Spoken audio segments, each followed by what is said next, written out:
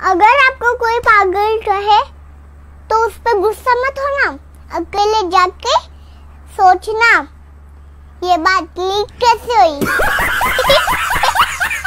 एक बात पूछनी थी। ये जो इज़्ज़त का सवाल है, ये कितने नंबर का होता है?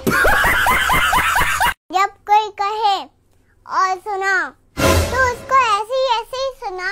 नेक्स्ट टाइम वो बोले ही ना।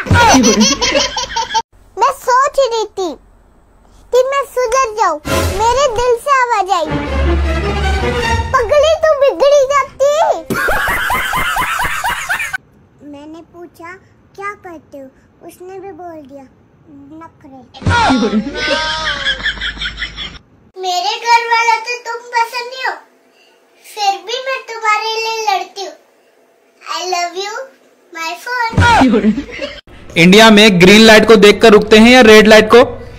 बिल्ली को देखकर। बची हुई रोटी का क्या बनाए? अपनी जेठानी से छुटकारा कैसे पाए? कुकर में पिज्जा कैसे बनाए? छोटा वाला में। साड़ियों की सेल कहाँ लगी है बताओ गूगल। चेहरे के निखार के लिए क्रीम बताएँ।